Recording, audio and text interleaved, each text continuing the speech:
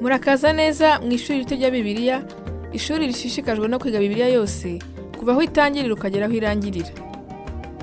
Turi hafi kugera muri kimwe cya kabiri cya bibiliya yose ubu turi mu gitabo cya zaburi. Kubabarira ni impano y'ingenzi cyane duhabwa n'imana.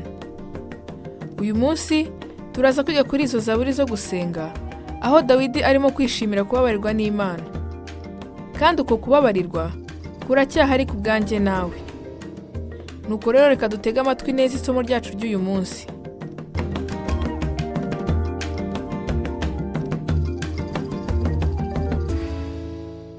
Hahirwa uwababariwe ibicumuro bye ibyaha bye bigatwikirwa.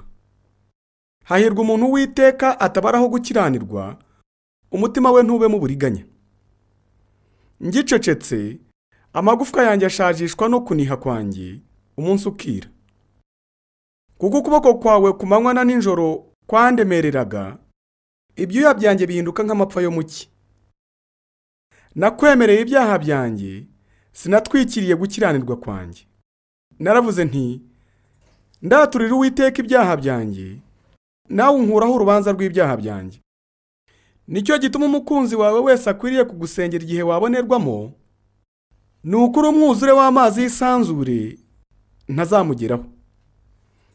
Ni wowe bwihisho bwanjye uzandinda amakuba n'ibyago uzangotesha impundu zishima agakiza.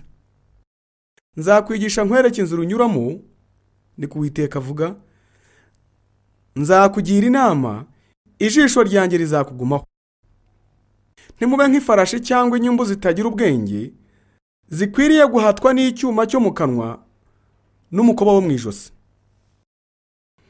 Ubwo dukomeje gusesengura zaburi igitabo cyahumetswe cyo mu isezerano rya kera tugeze kuri zaburi ya mirongo itatu na kabiri. Tumaze kureba kuri zimwe muri zaburi z'amarangamutima ubu tukaba tugeze kuri zaburi zo gusenga. Tumaze kureba kuri zimwe muri zaburi z'umunyamugisha ubu tukaba tugeze kuri zaburi zo gusenga. Twabonye yuko zaburi z'umunyamugisha ari zaburi z'ubutumwa. Hano umwanditsi arimo kubwira abantu iby'imana. Zaburi zo gusenga akenshi ziba ari zaburi zirimo amarangamutima. Navuze yuko uburyo bwiza bwo kwigisha izi zaburi aho umwanditsi arimo kubwira imana iby'abantu gusenga ari ukwitegereza ikirere cy'amarangamutima ye igihe arimo gusenga. Nuko rero nusanga amarangamutima yawe arimo kuvugwa hano nawe tekereza witonze kugira ngo ubashe kumenya icyo yakoze kuri ayo marangamutima ye cyane cyane iyo amarangamutima ye ndetse n'ayawe ari mabi yose. Muri zaburi ya mirongo itatu na kabiri zaburi ya mirongo itanu n'imwe ndetse n'izindi zaburi nyinshi cyane amarangamutima avugwaho hano ni ayo twese tuzi. Ni amarangamutima yo gucibwa urubanza.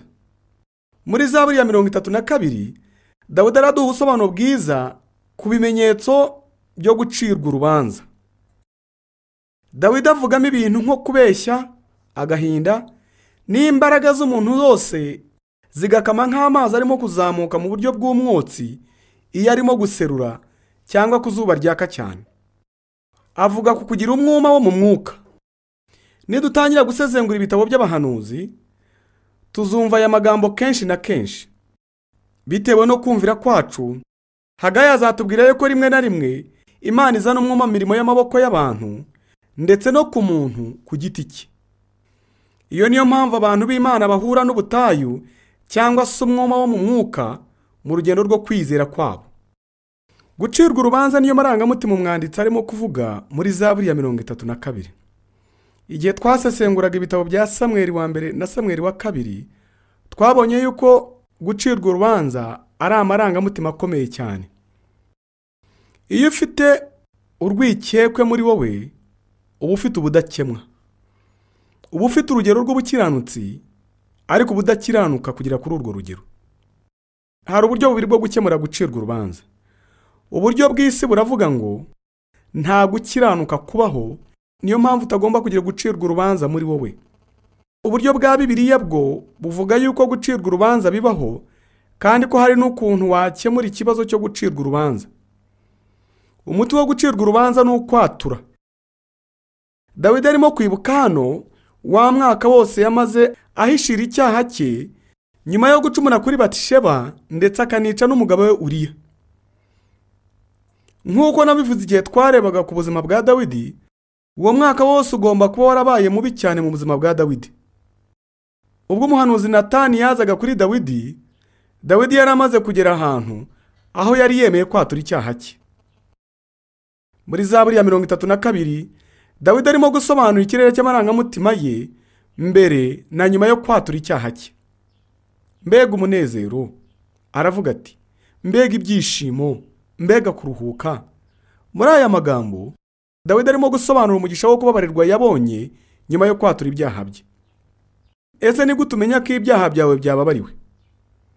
Hari umuntu wavuze ko wabimenya gutya?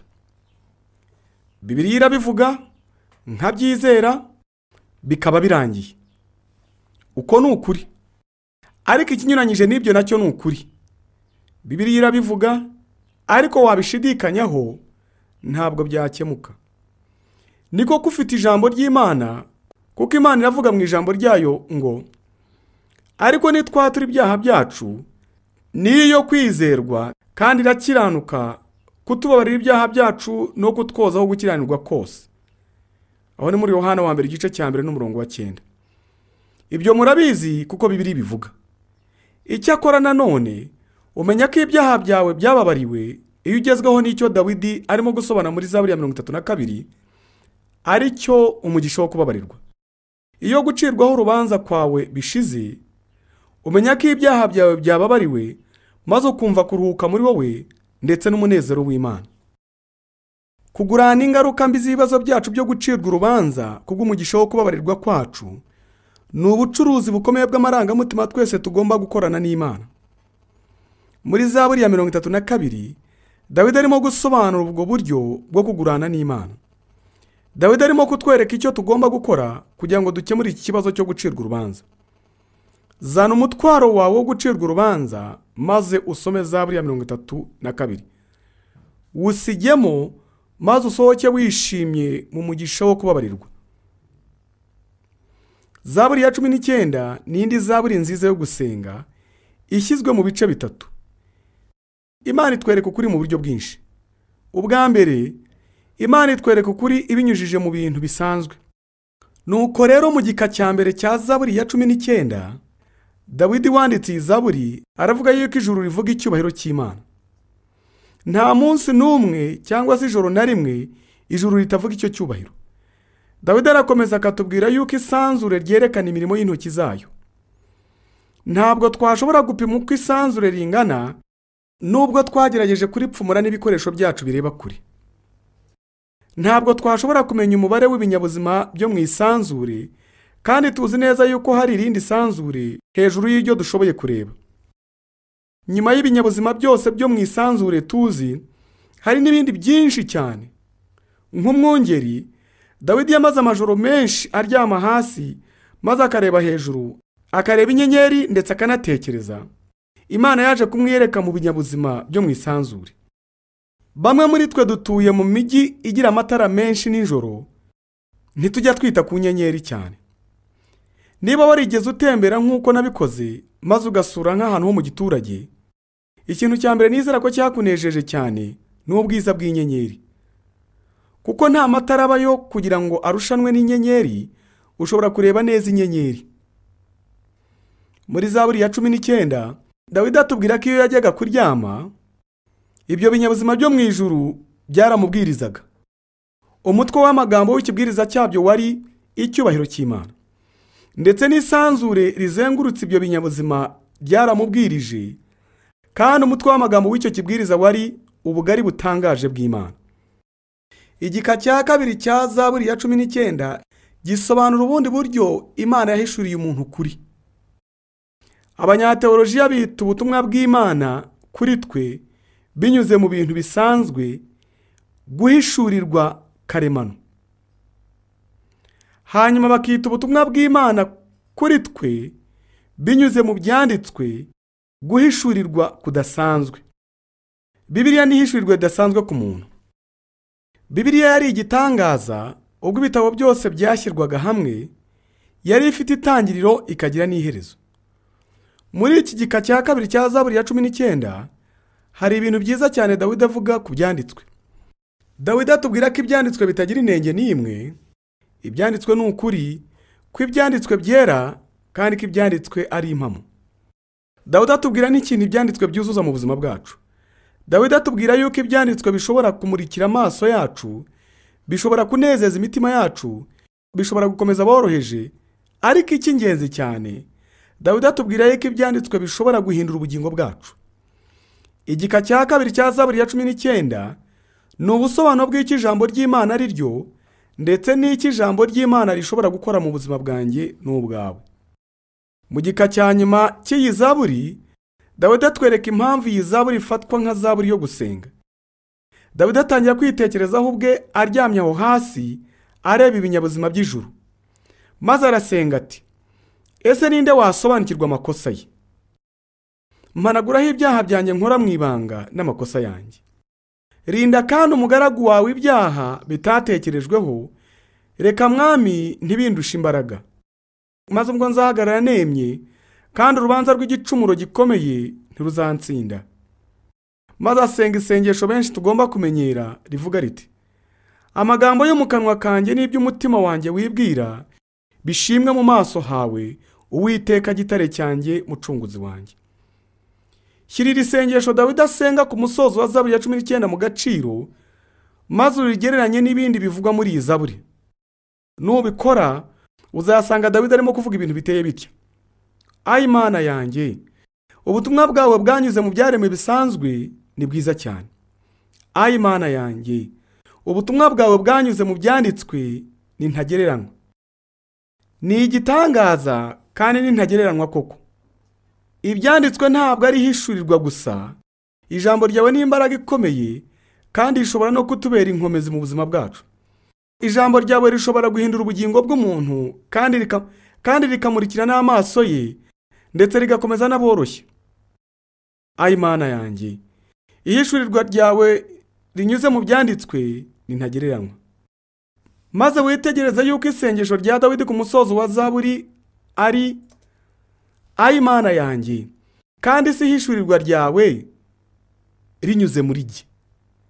Dushobora kuvuga ikibazo cya dawidi mu bundi buryo ari bwo ubu turimo kwandika ubutumwa bwiza igice buri munsi mu bintu dukora ndetse n'amagambo tuvuga. Bagabo musomye ibyo mwandika. Mwasanga ari ukuri cyangwa se ibinyoma? Ese wowe ubutumwa bwiza bwakwandikwaho ni ubuhe? Imana yerekana ukuri mu nzira nyinshi.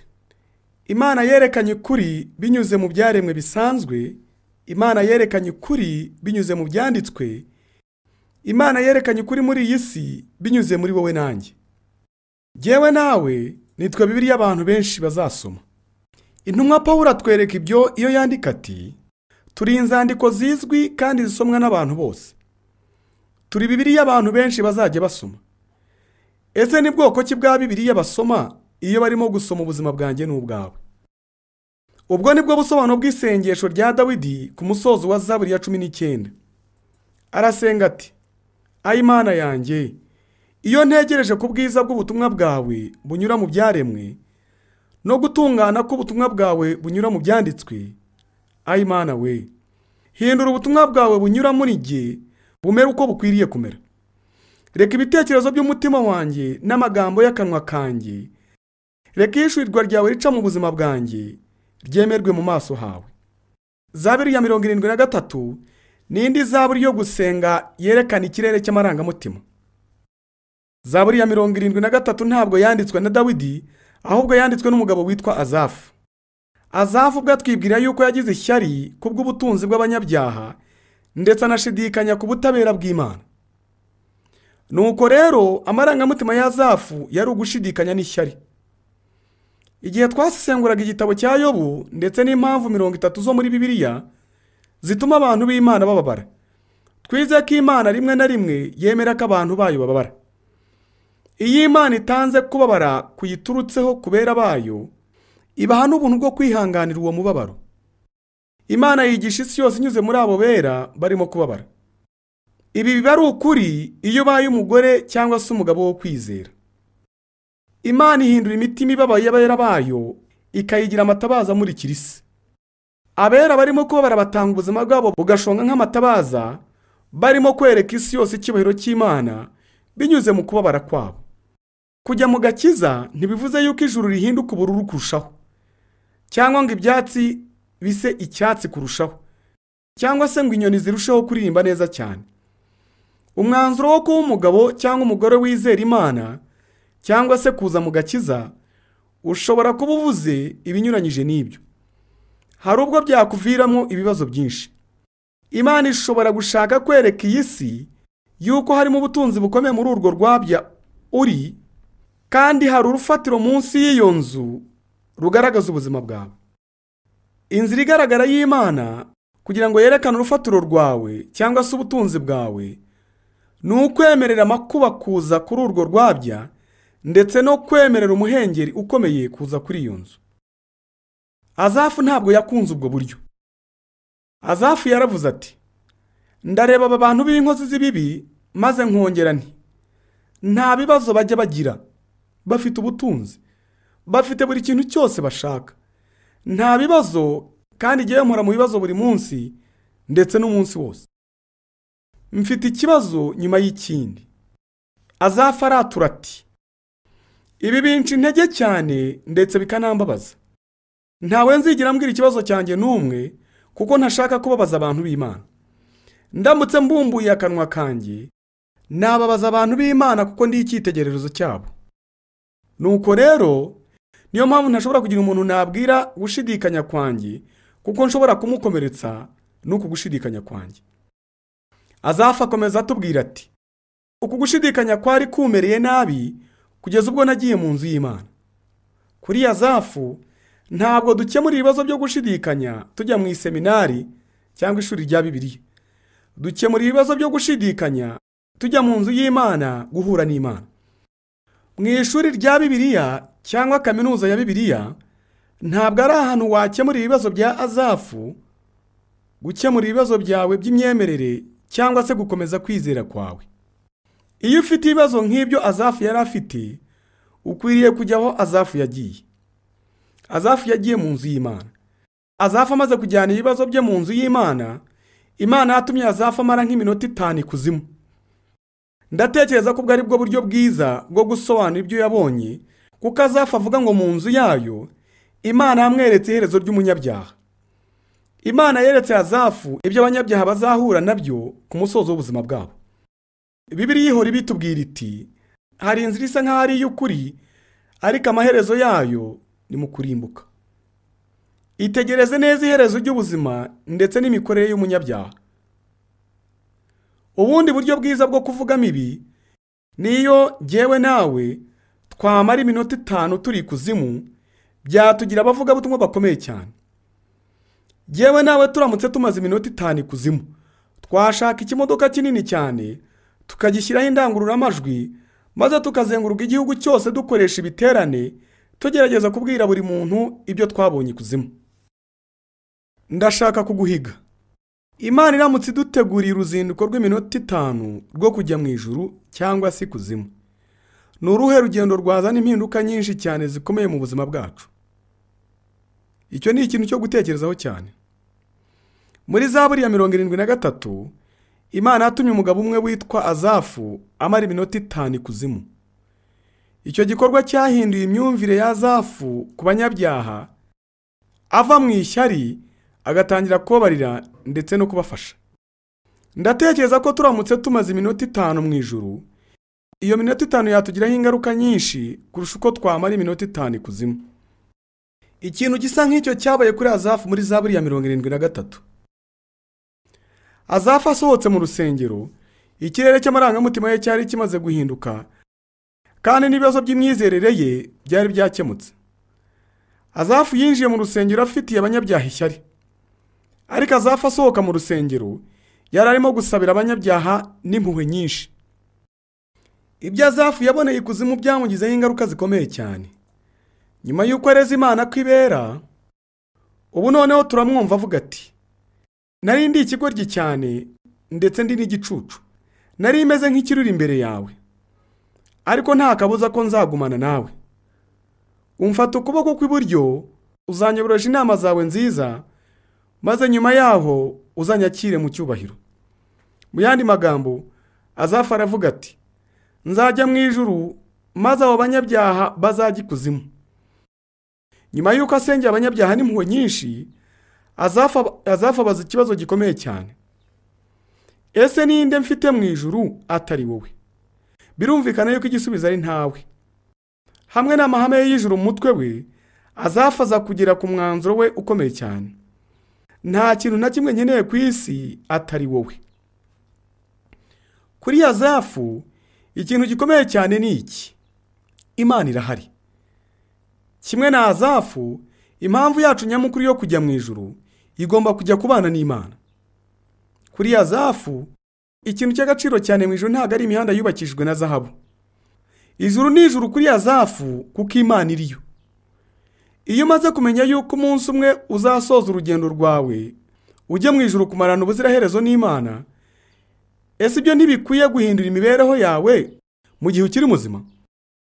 Ukwiye kwemeranya n'azafu maze ukavuga uti mana nta kindi kiri mu ijuru atari wowe. Mana nta kintu nkeneye ku isi keretse wowe. Ikintu cya mbere nkeneye ku isi ni ukukumenya. Zaburi ya mirongo irindwi na gatatu ni zaburi nziza yo gusenga aho azafatwe ku buryo bwiza bwo gukemuramo ikibazo cyo gushidikanya ndetse n'ishyari. Akoresheje urugero rwe azafu aratwereka yuko tugomba kujyana ibibazo by'imyemerere yacu mu rusengero. Aho ni ho azafu yakemuriye ibibazo bye by'imyemerere. Igihe nari umunyeshuri nari mfite ibibazo byinshi cyane by'imyizerere n'imitekerereze. Nyuma y'imyaka myinshi mvugana n'abanyeshuri ndetse n'abanyateolojiya nanjye nakemuye ibibazo byanjye mu rusengero aho kubikemurira mu isemineri cyangwa kaminuza. Ndifuza noneho kuvuga ku yindi zaburi yo gusenga. Ku bwanjye zaburi y'ijana na mirongo itatu n'icyenda niyo zaburi ikomeye cyane nabonye muri zaburi zose zo gusenga.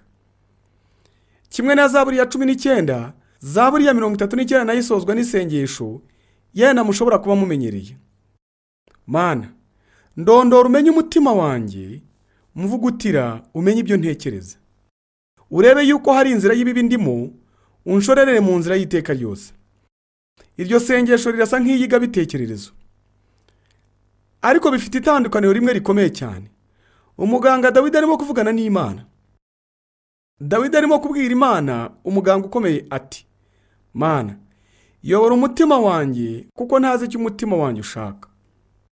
Yeremiya aratubwira mu buhanuzi bwe ati umutima ni umunyabinyoma kurusha ibindi bintu byose.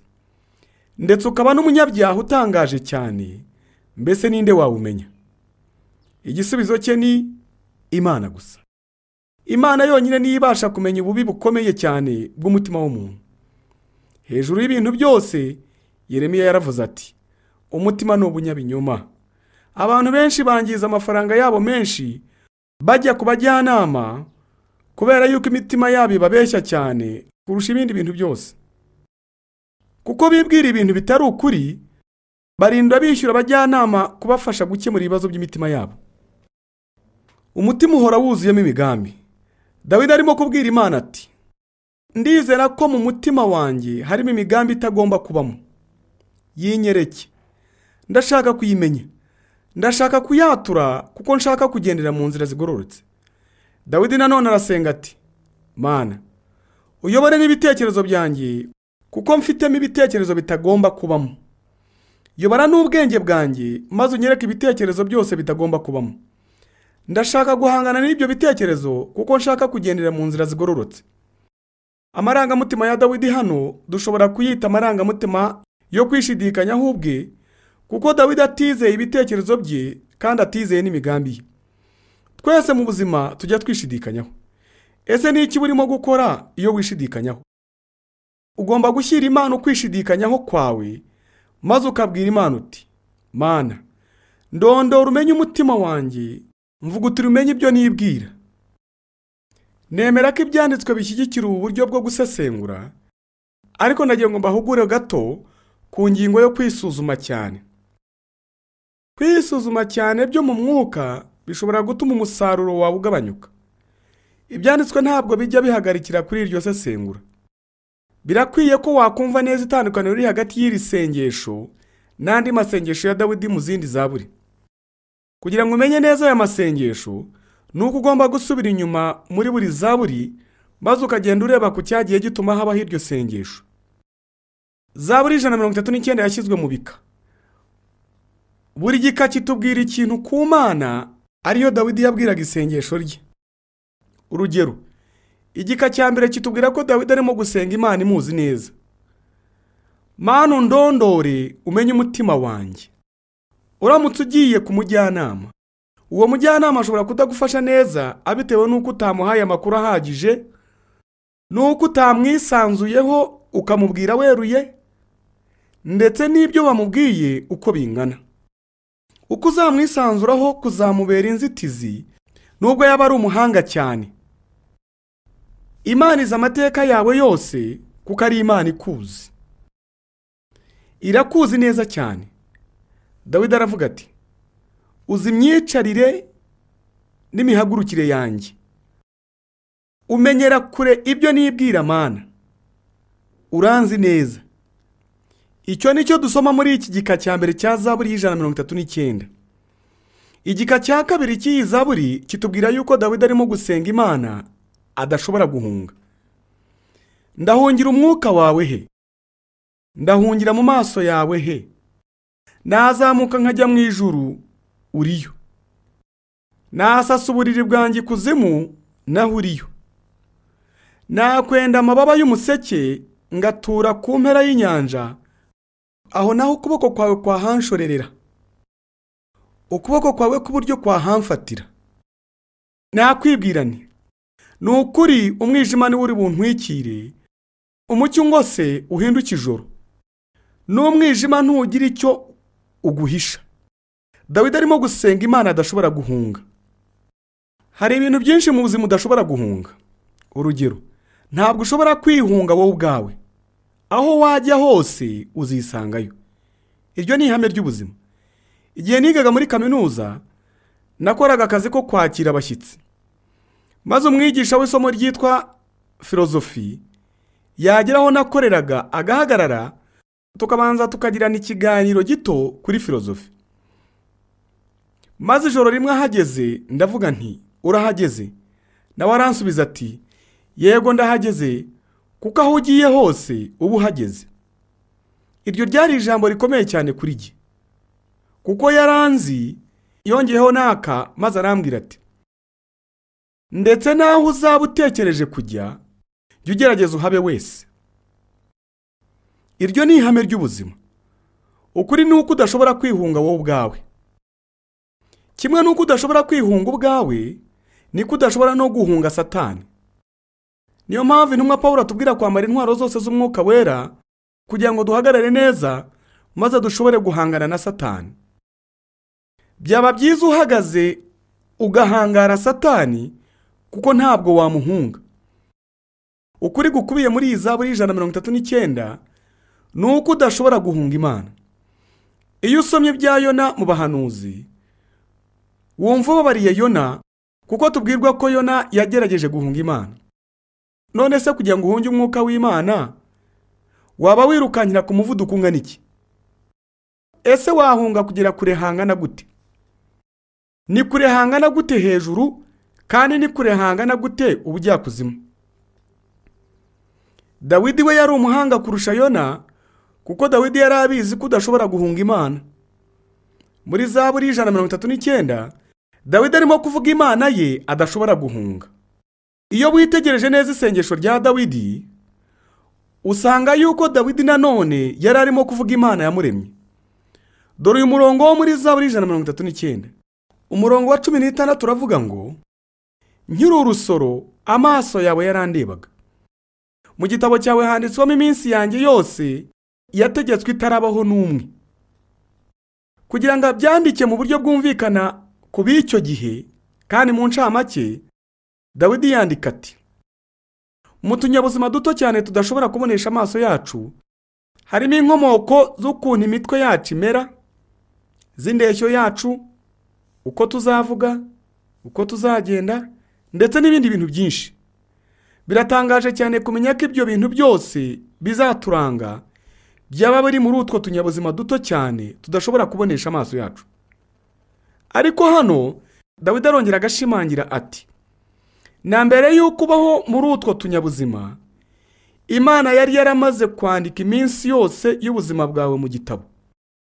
Nta mpanuka yitwa kubaho k'umuntu ibaho. Ubwo nakoraga imirimo yo gufasha abantu nigeze kubwira umupadiri nti padi kimwe cya kabiri cy'abana ni impanuka ku isi. Ntabwo bigeze batekerezwaho nta n'ubwo bari bakenewe. Ese naracyashywe? Arambwira ati musore nta mpanuka y'umuntu ku isi ibaho. Naracyashywe ndigishwa kandi ntabwo nzabyibagirwa. Byabaye imyaka myinshi ishize ariko n'ubu ndacyabyibuka kandi ndacyabitekerezaho. Ese haba hari impanuka zo kubaho kw'abantu ku isi? Kandi imana yaranditse iminsi yo kubaho kwa buri muntu wese wabayeho uriho ndetse n'uzabaho mu gitabo mbere yo kubaho kwabo? Iri ni ijambo rikomeye cyane ryamagana gukuramo inda. Niba imana itegura ubuzima bwa buri muntu wese ni gute wowe wahagarika gahunda y'imana? Ese ufite uburenganzira bwo kwica umwana niba imana yarateguye ubuzima bw'uwo mwana mbere y'uko abaho? Za buri ijana na mirongo itatu n'icyenda n'umurongo wa cumi na gatandatu hatubwira ko nta mpanuka yo kubaho k'umuntu ibaho. Hari n'ibindi bika muri iyi zaburi bizakwereka amasengesho ya dawidi atandukanye. Ku musozo w'iyi zaburi hari isengesho aho dawidi avuga ku mana imurinda. Dawidi avuga ku mana imutekerezaho. Mana ndondora umenye umutima wanjye. Mvugutira imenye ibyo ntekereza. Urebe yuko hari inzira y'ibibi ndimo unshorerere mu nzira y'iteka ryose. Ni iby'igiciro cyane kubona ko dawidi arimo gusenga iri sengesho ku mana imuzi ku mana adashobora guhunga ku mana yamuremye ndetse imana imutekerezaho buri munsi. Dawidi aravuga ati ufite byinshi cyane untekerezaho. Ibyo untekerezaho bingana nk'umusenyi wo ku nyanja z'isi kuko untekerezaho cyane. Mu gusoza dawidi arimo kubwira isengesho ry'imana imurinda. Ni kuri iyi mana dawidi arimo kubwira isengesho rye ku musozo wa zaburi y'ijana na mirongo itatu n'icyenda. Ibyanditswe byigisha ko kwitekerezaho cyane ari byiza. Ariko nanone ibyanditswe bikavuga ko biba byiza cyane iyo witekerejeho cyane ariko uri kumwe n'imana nk'umujyanama mukuru. Imana niyo mujyanama wa mbere ukomeye kuko imana ariyo yonyine ikuzi neza. Twigishwa cyane na filozofi kugira ngo turusheho kwimenya ariko ntabwo twari twimenya. Nuko rero kuko tutari twimenya iyo dushaka kugira icyerekezo mu buzima bwacu ese ni kuri nde? Tujyaho. Nk'uko twabibonye kuri dawidi iyo urimo kwishidikanyaho iyo uzi ko ukeneye ubufasha cyangwa se ubuvuzi bwo mu mwuka. Jya ku mana maze uvuge uti mana yobora umutima wanjye maze unyereke umutima wanjye maze unyereke n'ibitekerezo bitagomba kumbamo kuko nshaka kugendera mu nzira y'iteka ryose. Za buri zose zo gusenga tumaze kubona zirasa neza nk'ubuvuzi bwo mu mutwe bitandukanijwe n'ibintu bibiri by'ingenzi. Icya mbere birahendutse cyane gusenga.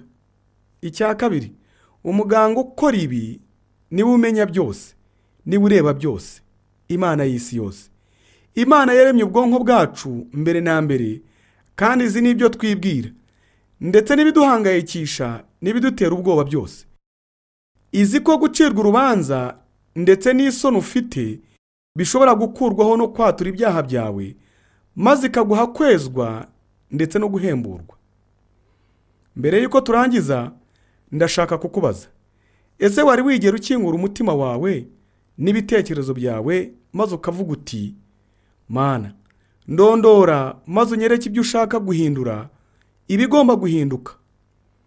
Niba utarabikora soma izi zaburi maze uzisengeremo ku mana maze na yo izatangira gukora ikintu gihebuje mu buzima bwawe. Muri zaburi turasanga nk'amasengesho menshi abagabo b'imana basenze igihe bari bababaye. Dushobora kubona guhumurizwa mu gihe tumenye ko imana yumva amasengesho yacu natwe. Niba utarigeze kwatura ibyaha byawe maze ugasaba kubabarirwa bikora uyu munsi. Niba hari icyo ugomba kwatura uyu munsi kugira ngo wongere kuryoherwa n'agakiza kawe menya ko uwiteka yiteguye kandi ko ategereje kukumva. Emera ukubabarira kwe maze usangize abandi uko kubabarirwa. Kugeza ubutaha reka imbabazi ze n'amahoro ye bigusubize nk'ibyiringiro kandi bigukomeze.